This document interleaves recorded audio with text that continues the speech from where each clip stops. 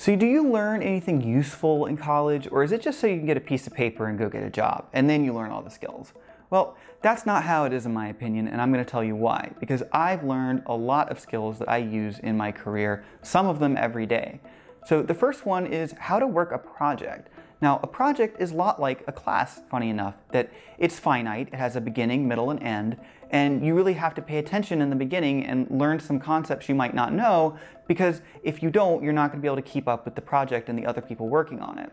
So this is a lot like a class where you have to do the same thing. And another way it's like a class is that you'll have multiple going at one time. Like you have multiple classes in one semester, you're also going to have multiple projects you have to work on.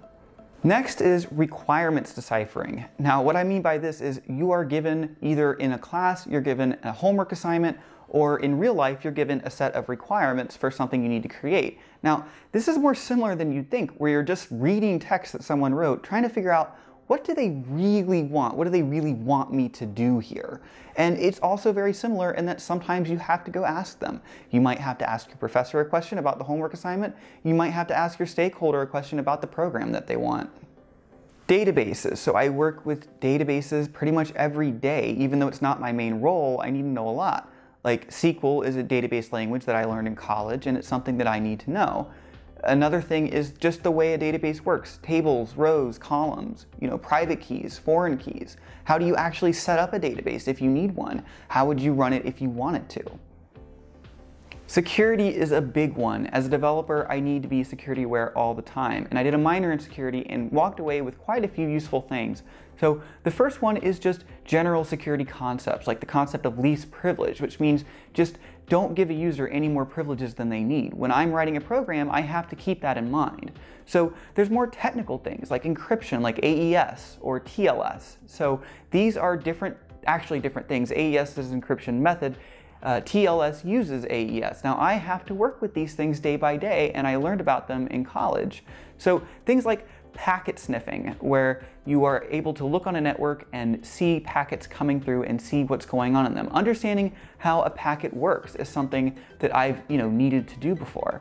So authentication practices is a big one. Authentication is just the way that you log in, like with a username and password. I have to know how to make that work. I need to know the requirements behind it, what's not good security practice, like it would be a bad practice for me to send the users, you know, a password of another person, stuff like that. So security has been very important and that's something I use every day. Troubleshooting is another big one. Troubleshooting is something that you're going to have happen to you in college, that something isn't going the way you need it to go, and you need to get that good grade, so you're gonna have to figure out what's going wrong. Where did you mess up, or where is something else messed up? Troubleshooting, you basically just Take these different problems that you have and start with the first one. Try to solve the first one first and then keep working into the next ones until it's solved. So presenting is a big one too, because it's something that a lot of people will need to do, and even as a developer, I find myself doing it quite often. It's not easy to go up in front of a lot of people and explain something technical, sort of like what I've done in my videos. Now, I've learned to do that from a lot of classes I took in college that make you do it, even if you don't want to. So that made me better at giving presentations like that. And it's something that I use quite often at work. Technical writing is another one I've had to do. If I have to write up a document about a program I wrote, how do I make it look professional? Another thing is just writing emails. How do I be professional when I'm writing? So technical writing is one that people do need to have in a professional environment, and I use it at work every day. Usability is another one, which is basically to say when I'm writing a program, I need to be conscious of what's a good user interface for the user. For instance, I don't want to have a whole ton of menus bunched up at the top of my page, even though it might work fine for me. I need to be aware of what most users will be able to do and will not be able to do. And we had a class called uh, Human Technology Interaction that taught us all sorts of stuff like that, and I keep those concepts in mind every day. So believe it or not, group projects are another one. You're gonna have to work with other people. So doing a group project and learning to divvy up the work, go into different roles, and complete something as a team is something you do in college that you also have to do in real life. And yes, that's every day that I'm doing that. Servers are a big one. Servers are something I work with every day and I learned about most of what I know in college.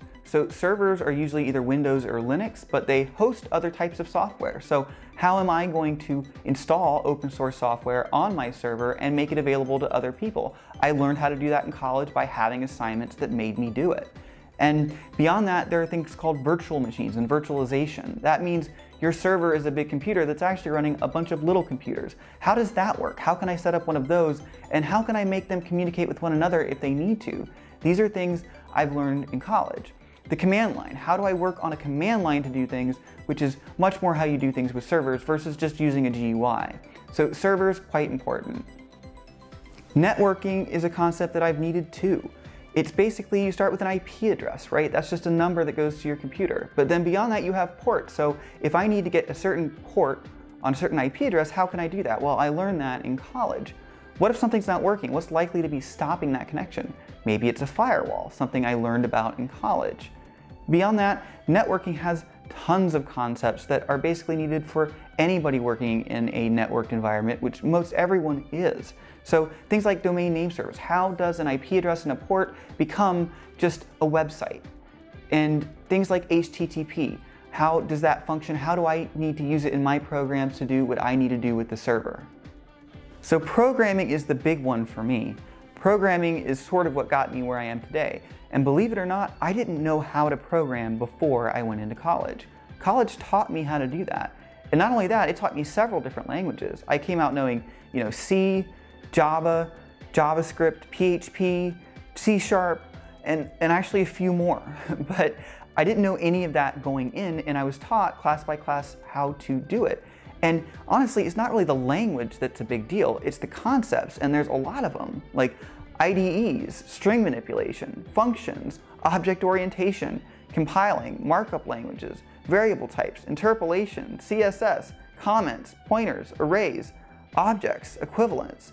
There's just a ton of things that you will learn about when you take a degree that teaches you how to program. And those are the things that got me where I am today, and it's stuff that I use every day now. I can't tell you how many times I am going through something at work and I remember something basic I learned at school that helps me. And the things I've talked about before, like security, sanitizing URLs. How do I do that in the programming language I'm using? I learned how to do these things in school because I had to in school if I wanted to pass the assignments, and now I have to at work because it's my job. So anyone that tells you that college is a waste of time or college doesn't teach you anything useful, they're wrong. So if you like this video, please give me a like and subscribe to my channel if you want to see more stuff like this. Have a good night.